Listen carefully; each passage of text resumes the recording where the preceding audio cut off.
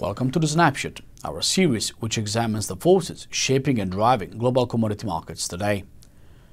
The large drop in North Sea grades prices, although exacerbated by an aggressive selling pressure coming from speculative positions, was favored by an overhang on oil caused by sluggish South Korean and Chinese demand, American barrels still circulating in Europe, and increased competition from Urals.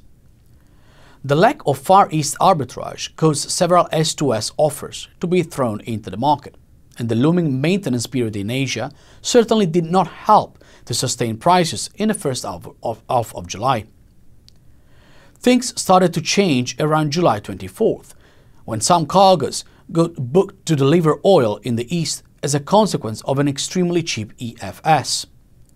The buying pressure on BFOE grades was also helped by revival of domestic demand, which contributed to absorb a good chunk of the floating barrels,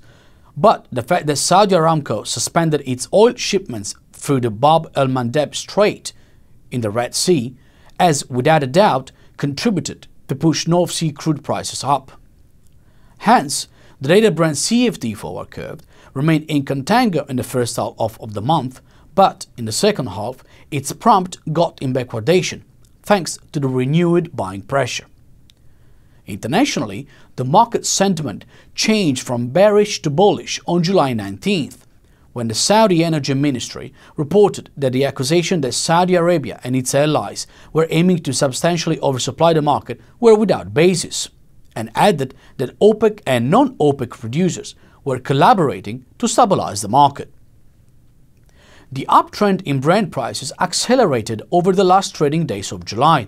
also thanks to increased geopolitical risk factors like the escalating tensions between US and Iran, with the latter training threatening to block the key choke points at the Strait of Hormuz. The volatility premium averaged negative 26.3 over the month of July, which is significantly lower than its 3 months and 6 months values indicating that probably there will be a market correction in the short term, followed by an uptrend. The probability distribution analysis shows that the Dated Brent monthly volatility closed the month trading above its equilibrium point. So, it is probable that the volatility will tend to move back down towards the 20-25% range, where it has more than 31% chance to stay the drop in volatility will favor an uptrend in prices, although quick market retracement should be expected. Finally, the volatility cones analysis confirms that the monthly figure of the current volatility curve is too high, implying that the fluctuation rate will likely soften over the next weeks, favoring a gradual uptrend of Brent prices. Nevertheless, price retracement, particularly in the short term, should not be ruled out. Until next time on the Snapshot, we'll be keeping an eye on the markets.